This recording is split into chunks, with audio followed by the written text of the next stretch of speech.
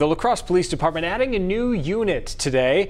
This one specifically to help improve the community's mental health. It is called the Community Resource Unit, otherwise known as CRU, and it's a collaboration with La Crosse County.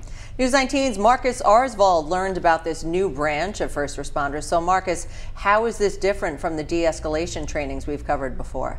So it's different because rather than only a police officer responding in this instance, an officer partners with a crisis counselor from the county when they're dispatched to a mental health call. The main goal is to assist rather than arrest.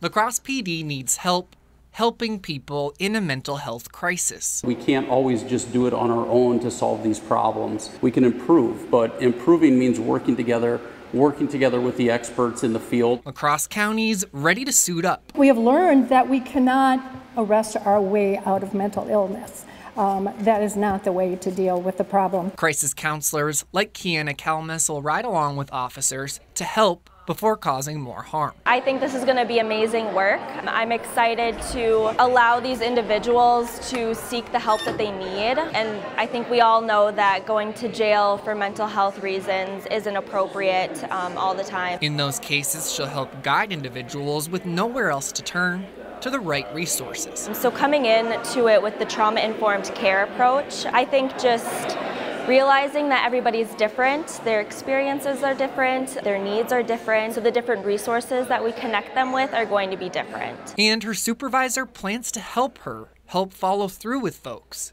even after the crisis ends. You can always call our 784 help number and you can get um, services even without police involvement too. Riding into tough situations as a team. This is an opportunity for us to partner and to provide those resources at a quicker and more frequent time frame. Maximizing efforts to empty jails, not fill them. Counselors say their training with the county prepares them to ride along in these tough situations.